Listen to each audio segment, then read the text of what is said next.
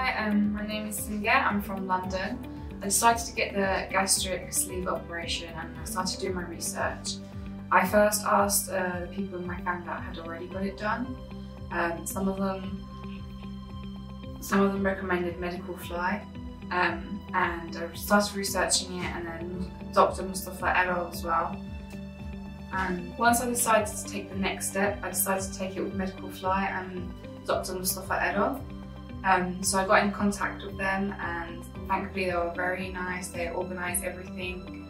Um, I was out here in the next couple of days.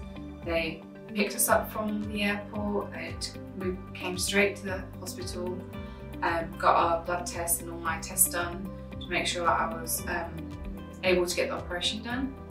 Um, next day I got the operation done, everything came out fine. And yeah, the operation was an hour, and it went very well. I was I was fine after it, and yeah, I'm really good right now. It's uh, I had depression yesterday. It was about two days now, and yeah, it's all good.